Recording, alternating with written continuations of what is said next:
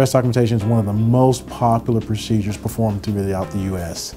Here at Signature Plastic Surgery, we offer basically silicone and saline breast implants.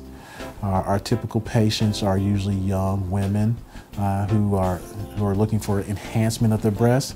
At various times, we treat uh, people transgender who are looking for that transition uh, for breast augmentation as one of their steps in that process. So what happens when you come to see me? First, you have a complete physical exam by me. We sit down and talk to you about your expectations. It's really, really important that we're on the same page about expectations. Example, women like to come in and talk about they want to be a C cup. Their C cup and my C cup might be a little bit different. So we have a lot of educational tools in the form of pictures of procedures that I perform and even pictures from magazines that may help us kind of along that process. Once we've kind of come to a conclusion of your size and shape, I, just sit down and discuss with you what type of implant.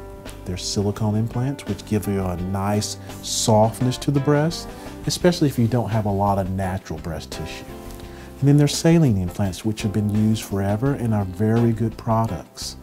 Uh, that usually is typically for women who are either younger than 22, and we typically treat patients from 18 to 50 or 60 for breast augmentation, or for patients who have a little more natural breast tissue, a saline implant is a good choice.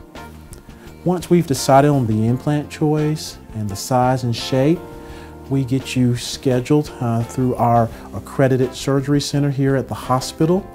Uh, I'm on staff at the hospital and hold full credentials there. And the procedure is done in, that facility and usually takes one or two hours. After that, the recovery is about four to six weeks.